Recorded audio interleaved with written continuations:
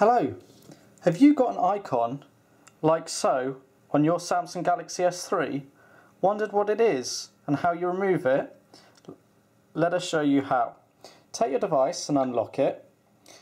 Pull down the bar at the top and you'll have your shortcuts up here that you can scroll through. If you see this one, notification, if it's not highlighted green, that is the reason why this is displaying. If you were to press it, it'll now change to green and the icon will disappear. If we were to press it again, the icon would come back.